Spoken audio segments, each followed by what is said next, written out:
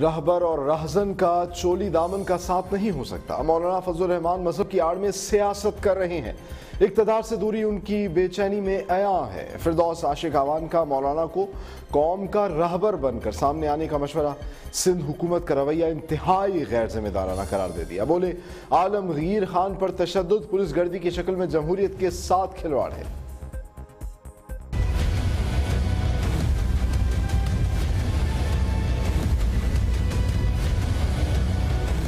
راہزن اور راہبر کا آپس میں کوئی چولی دامن کا ساتھ نہیں ہو سکتا، کیونکہ سیاست کی آڑ میں مذہب کو ڈھال بنا کے جس انداز سے وہ استعمال کرنا چاہتے ہیں۔ کیا مولانا صاحب یہ کھلا تضاد نہیں ہے؟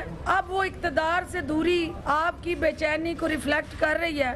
اس قوم کو رہبر بن کے سامنے آئے آپ رہزنوں کے ساتھ کھڑے ہیں۔